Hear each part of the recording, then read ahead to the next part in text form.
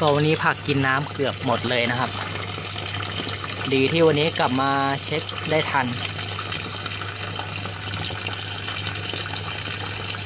ถังน่าจะเล็กไปครับเพราะน้ำเกือบแห้งเลย เพราะว่าผักเริ่มโตแล้ว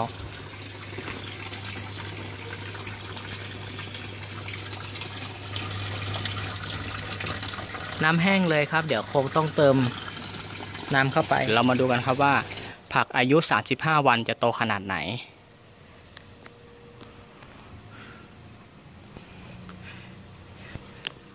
ข้างบนกับข้างล่างนะครับ ก็จะเอาเพาะพร้อมกันนะครับ แต่ว่าข้างบนอยู่บนรางผัก ข้างล่างก็จะอยู่ในขวดน้ำนิ่งนะฮะเดี๋ยวเราไปดูใกล้ ๆ กันว่าผักจะโตขนาดไหน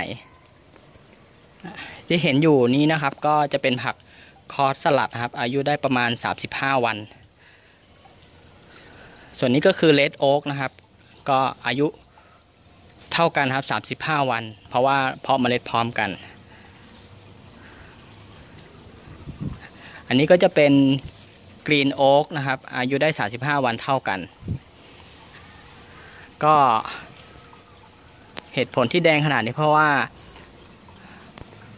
บริเวณที่ปลูกนะครับ ได้รับแสงทั้งวัน ก็จะเห็นว่าผักค่อนข้างที่จะเป็นลำพุ่ม แล้วก็ออกสีแดงใหญ่ นะครับ ตอนนี้ก็เวลา6โมงนะครับก็ ยังมีแสงอยู่ จะเห็นว่าผักคอสสลัดจะโตกว่าเพื่อน อย่างที่บอกว่าผักคอสสลัดเป็นผักที่เพาะง่ายแล้วก็ดูแลง่ายแต่ปัญหาอย่างหนึ่งที่พบเจอกันก็คือเป็นโรคใบไหม้นะครับ หรือว่าที่วงการเขาเรียกว่าทิปเบิร์นนะฮะใบไหม้ มันก็จะมีด้วยกันหลาย ๆ สาเหตุก็ลองเข้าไปอ่านในเพจที่ผมทำไว้นะครับ ซึ่งก็มีวิธีแก้ด้วยกันหลาย ๆ อย่าง ทีนี้วิธีแก้นี่ก็ขึ้นอยู่กับพฤติกรรมของผู้ปลูกด้วยนะครับ หลาย ๆ คนถามผมมาว่าทำไมผักถึงไม่แดงทำไมผักถึงไม่โตทำไมผักถึงไม่สวยนะมันก็ตอบยากนะครับ ก็ส่วนมากก็จะบอกว่าขอดูสถานที่ปลูกหน่อย ขอดูภาพรวมหน่อยว่าเป็นอย่างไรนะฮะอย่างที่ผมจะเน้นย้ำบอกเสมอว่า แสงแดดอะสำคัญเลย อย่างน้อยผักต้องได้แสงอย่างน้อย 6-7 ชั่วโมงต่อวัน อย่างที่เห็นอยู่ตรงนี้ตรงระเบียงบ้านครับ ขึ้นไปนี่ก็จะเป็นท้องฟ้าเลย นั่นเท่ากับว่าตลอดทั้งวันฮะผักก็จะได้แสง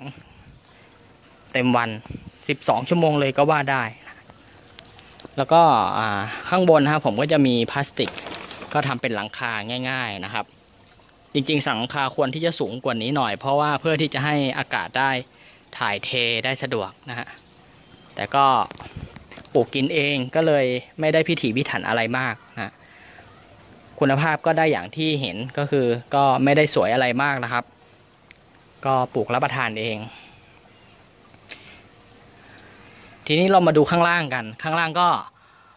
เพาะพร้อมกันนะครับ แต่ว่าไม่ได้เอาขึ้นรางก็จะอยู่ในขวดน้ำนะก็จะเห็นว่าข้างในเขียวเลย เพราะว่าในน้ำเป็นน้ำนิ่งนะครับ ก็จะเป็นตะไคร่